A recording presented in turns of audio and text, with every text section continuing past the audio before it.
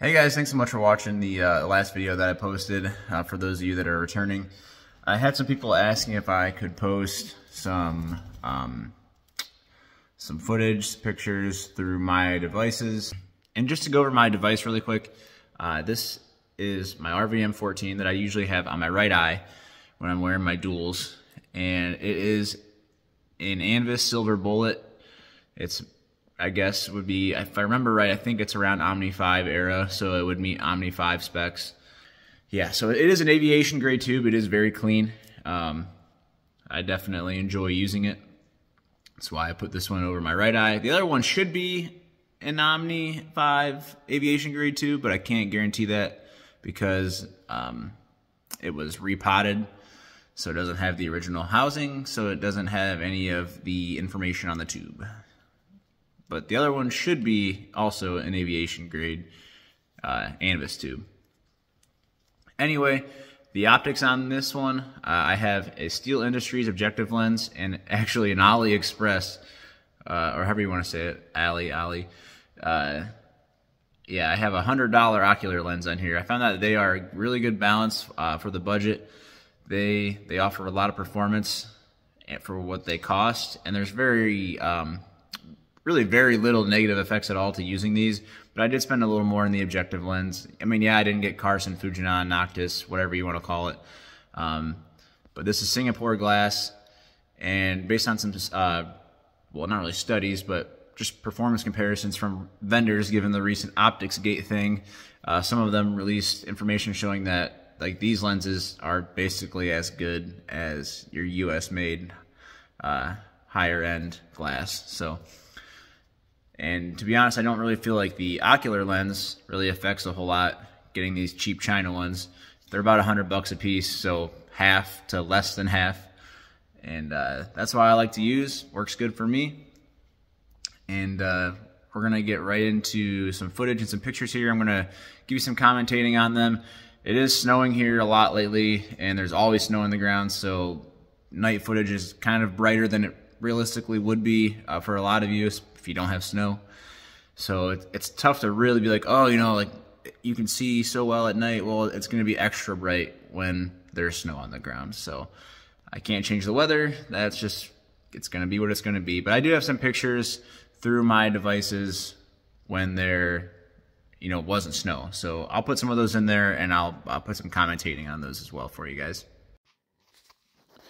All right, I do want to apologize formally for this video. I tried to take it when it was snowing, which really just messed with the quality.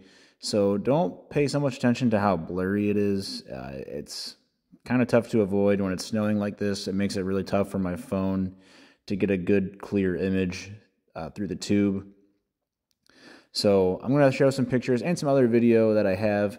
But this was just me on a snowy night out looking around. Now, obviously, there's like full cloud cover, no stars, no moon, nothing. Um, I mean, I am I'm messing with the iris there. That's why I got darker for a second. Um, and there's obviously some ambient light from the house.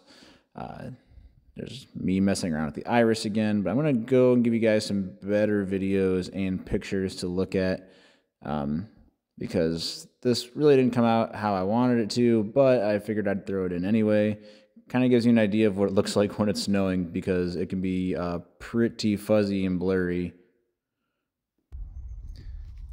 All right, and then here's a quick video of us out at the park. Um, this was on a late night. There was no moonlight or anything really. It was very dark. And uh, you can see there's some noise, but overall a very clear image, and it was very dark. And here's another good example of a very dark night. Um, there was no moon this night. Clear skies though, uh, but it is extremely dark, very noisy. You can see a lot of static in the image. Uh, but I was actually taking a recording of the northern lights before you could actually see them with the naked eye, and it was pretty cool.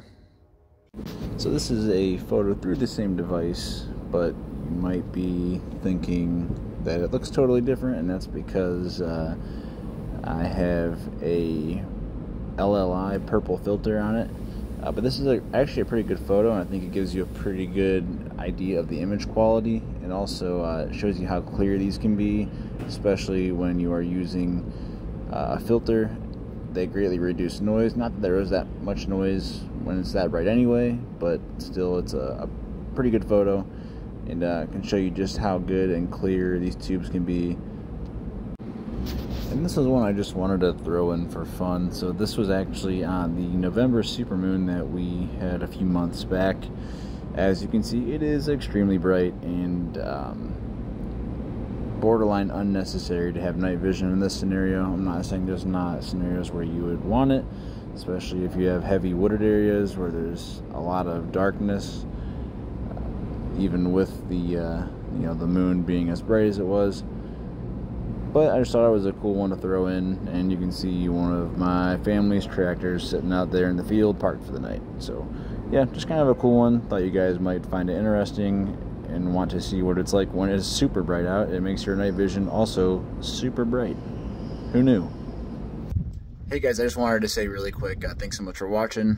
And for those of you that asked about uh, what it looked like through my RVMs, or at least I gave you the look through one of them. The other one is pretty much damn near the same. But I hope that answered your questions. I appreciate you guys interacting with me. Uh, feel free to ask me more questions.